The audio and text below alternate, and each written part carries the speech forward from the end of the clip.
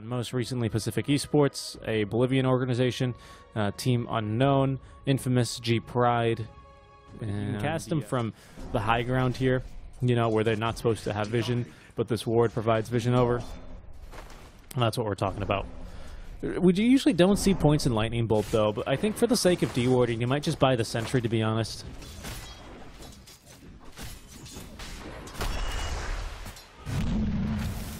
Stinger looking to run here. They nearly get the kill onto him for first blood, taking a bit of damage. Axe continuing to run at him.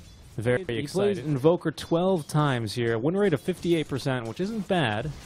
Which is not bad. Abler's taking a couple days off here.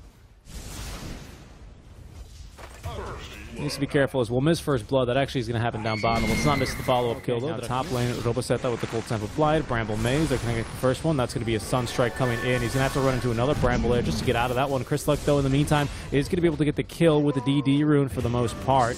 Strength stolen by uh, Scofield. Okay, he's going to stick around and just die.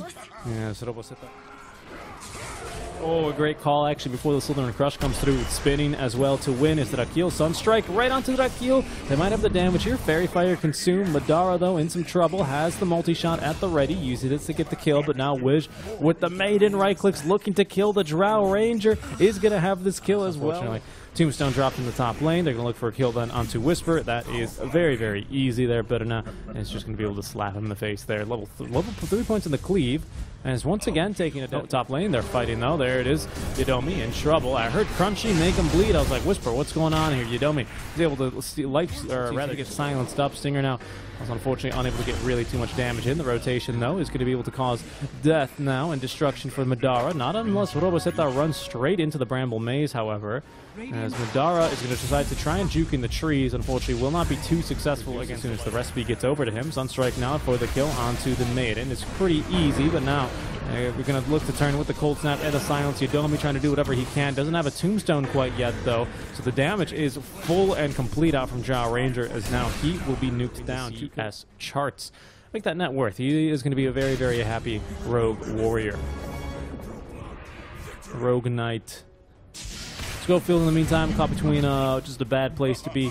He is going to be nuked down by the likes of as they will steal a war, a rune here. Wisper, uh, they don't have a stun for another two seconds for him. There's going to be a haste rune in the river granted to him, in the bottle as well. They shouldn't have, I mean, with the roots, maybe they have it. They do actually have the dust and break dust there to do that. They might now know something's coming from behind it, but they want this kill into Robosetta. Soul Rip to try and keep alive. There's a tombstone dropped as well. They need to make quick work of that. Robosetta into the meatball he goes. It's a spicy meatball, but not spicy enough, as he will at least be able to kill the chef before he goes. Now that Akio right on top of Madara.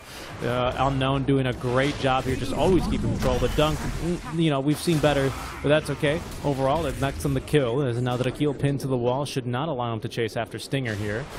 Wish, very aggressive with another root. Might be able to set up for a kill here. They need a little bit more damage. There's the move speed slow and the decay just catching him. It's a three for one then in exchange for Robo Thunder God's Wrath. They do Roche so fast. Make sure Stinger doesn't die there. Got nearly bashed to death. We have an Undying now coming in, but yeah, unknown. They're not going to be able to contest this one in time. Roshan with, and I'm saying this in air quotes, only 8,000 HP here at this stage of the game, so they very easily are able to nuke come through. And now uh, uh, an Aegis here for Madara ready to go. So I see the need, or rather, I see the reason for him to go for the Dragon Dragonlance first item. They're fighting bottom, though. Let's go ahead and catch the tail end of this one, as they did catch Robosetta in return. So far, all as they have is Scofield. They will get a taunt onto Wisper. Down he goes. EMP easily dodged. Not that it would have done too much damage anyway, because it's, I think, only can use that here. Wisper with the Blink Dagger ready to go in, as Madara's will be receiving the buff. They want this kill into Robosetta. Wish here actually breaking the passive. They have plenty of magic damages. Both Wish and Robosetta nuked down. Tombstone drops next. BKB of Madara. Bottom. Receiving some TPs. They want this going to Chris Luck. He does have a BKB and no Ghost Walk currently at the ready. It's on cooldown for another 25 seconds. Into the trees. They will scout him here. They need a little bit more damage and they're not going to be able to get it. Drakil Winston go farm the wave. And maybe if he was there with a right click or even better, the call would have been able to actually cancel that one. In the meantime, though, they have found Sven in the mean and he has been farming. does not have a BKB yet, so he's rather easy to kill. As down he goes. They're going to deward him right away. They, will catch Widge maybe even a, a, few more. It's getting pinned to the walls. The Akil Tombstone dropped here. They're going to look for the fight. Wisper taking a lot of damage from Zeus. Needs to back off as the Thunder God's Wrath will be dropped. Yadomi sail alive here as Drow Ranger unable to actually get any procs off of the marksman shop, the, the marksman ship rather. They're going to buy back. Yadomi in the meantime stays alive. A Stinger going a little bit too deep will be caught. Out of mana is going to be the Drow Ranger. She's blown up immediately by the likes of Roboseta, who is now has a Blink Dagger, by the way. Chris Luck looking to wrap around here beyond the tier 2 tower and go for a kill as Yadomi is going to die there to the Bedlam. Battle round canceled there by the Axe as Chris Luck running around here. Invis will not be scouted. So uh, they're going to be playing this one a bit safe. Wisper maybe looking ready to go in. They, of course, have a Sentry Ward and a Zeus, but Wisper now is going to be having that Blink Dagger. BKB freshly delivered now for our Sven. He's got that one ready to go, and they actually have vision up on the high ground. He goes. There's the axe call as well onto Scofield. That's going to be both initiators down for the count. One even dunked. Tombstone dropped here. They want more, and they have found now even Wisper doesn't have a BKB. He's in some serious trouble. Down he goes. Only finds one in the arena. Not going to net him much of that either even find another one there as on the Stinger. He just bobs back. They have even a root for him and another dunk at the ready. That's a dieback now onto Stinger. He was hoping to maybe go for a ward or something, or sorry, make that a rune. Pays quite a heavy price for that one indeed.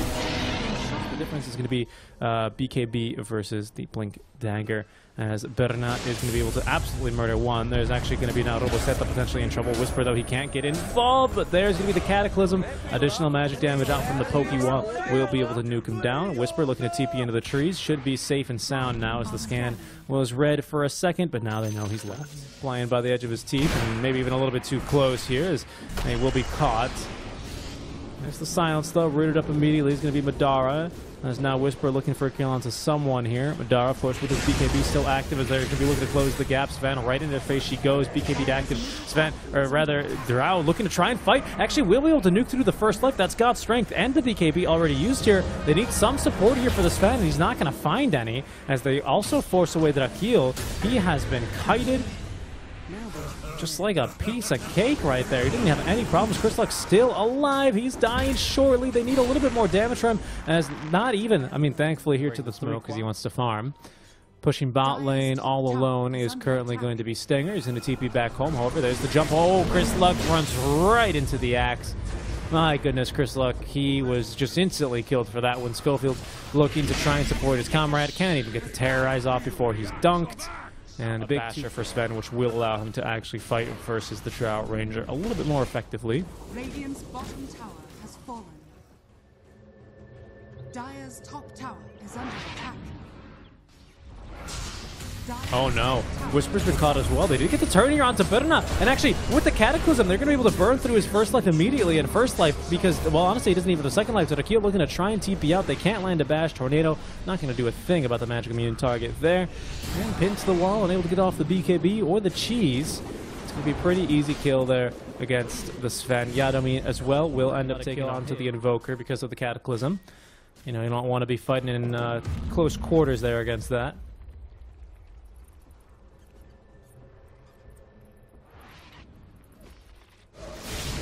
As they're going to kill uh, Scofield quite easily. He does have buyback at the very least.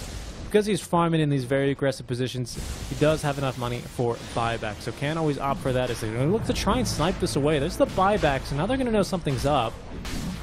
Of couriers in the pit here as well. That'll give him the vision to let him know, hey, there's two people in the pit. This actually, Roche has an, uh, an Aghanim's blessing. As in they go, they actually land the call as well, and that's more than enough nuke damage here. Roshan's going to fall as well here pretty soon. Zombies in the pit, though. No one can actually jump in. That means not claiming all three as they're going to be completely going in for the fight. They will buy back immediately on Madara. Scofield with the Terrorize will connect on to only two. Actually make that only one. It only catches Drakil. Now in some trouble is going to be, however, one. It's going to be better now. They heal him up for a little bit, but that's fine. That's just the first life gone this time. Zeus Nimbus here being in the way is causing a really big problem as Chris Luck looking to try and jump onto the but not jumping on over to try and get even closer here to any enemies. Needs to try and hand this Aghanim's Blessing on over to someone, though he's not yet done that. For now, they're going to go ahead and reset this team. Right? Who's, who's going to... You could see everyone going, hey, Berna, it's really cool. You're my favorite carry that I've played with. Can, anyway, can I have that Aghanim's Blessing? Who's going to take it here? Stinger, you madman? What are you doing? Okay, the Axe Call is going to completely miss, but there's going to be the counter initiation by Wisper, but he doesn't have BKB. He does have the Arena, but doesn't have time to get it off. Rooted down is going to be Stinger. There's a very defensive Arena as Stinger pops the smoke. Just confusion everywhere here as now there's going to be Tombstone drop, so the Drow Ranger can't even go in. In the meantime, still continuing to fight is going to be Chris Luck. He finds the kill onto the Maiden. that's a dieback at the very least there, but he's been caught now as Superman Sven running on in to pop the Linken Sphere. They need a little bit more here, and this Invoker is going to be a bit too fast. Teams, it's only the Maiden down for Unknown, so they might still look for a fight, honestly, if you show on the map, and that's what they're going to try and hunt for Chris Luck. They have the call now. They have found him. He did get the BKB off, but locked down here throughout the duration. They need to try and dust him up here, or do they even need to? They just burst through him so quickly with the damage out from Berna. Dead for 100 seconds here, they're going to look to try and force the buyback immediately from him. Berna did actually use the God Strength here, still has his own BKB, but no Aegis, of course. Cataclysm, I believe, is going to be up here quite shortly. Uh, there's no way for me to tell, unfortunately, but it should be up. As they're going to set to work now on the top of Tier 3 tower, the first Tier 3.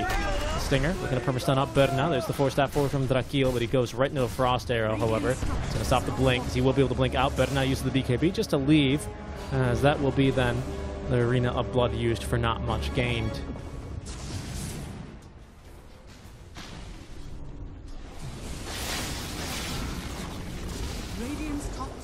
Oh, Wisper looking to try and abduct someone. Will not be successful. Pops the BKB. Running in like he has BKB, but doesn't. There's going to be the refresher now. Oh my goodness. Drow in trouble. Dunked. Immediately dead for two minutes. That's a dieback on a hurt. That's all your damage. Chris Luck then. It's a 2v5 as he's going to try and beat him as well as Wisper, trying to prevent Beast Coast from being eliminated here from the LPG final series. Let's see if they can get it done. As Berna now makes the jump in. Taunted will be Chris Luck. Still has that Aghanim Scepter to use, but they have now popped his Linken Sphere. Drakil, with his own BKB active, is going to be forced back. A little bit too much damage courtesy of the Tier 4 towers. Wisper nearly dying. Highest, of course. A little bit of extra healing to stay alive as Wiz now running in. We have Willow back in 5 as well as now Wisper in 20 seconds. But most importantly, Drow Ranger dead still for another minute and a half as Chris Luck taking a lot of damage here from the Nimbus. Needs to be a bit careful. Trying to nuke down Roboseta is going to be Scofield, you madman. He's going to be absolutely murdered for this one, or will he? They should catch him relatively easily, and down he goes. We're low on mana there, but Wiz actually eating some cheese to get back to full HP, immediately jumping in as look at Berna go. They will reflect the stun at the very least right into the Cataclysm. BK beat up, though. He's going to be able to chew right through those, continue trying to fight versus Wisper as he's going to jump onto Chris Luck. Now BKB active, they can't do much against him, and that's now Chris Luck dead for two minutes. He's going to get the kill onto Wisper as well, and last to fall will be Stinger will have at least buyback here on Wisper. As now facing elimination, they're going to try and throw whatever they can here. 30 seconds left till the Drow is back, but a whole nother 90 seconds, over 100 actually here, until they have their Invoker. Wisper trying to force one at least into the pit unsuccessfully. Into the fountain, I should say. Yadomi will buy a book here, dropping a tombstone, but this is going to be the GG. Coast then eliminated from the Movistar LPG final series by Team Unknown who will take a 2-0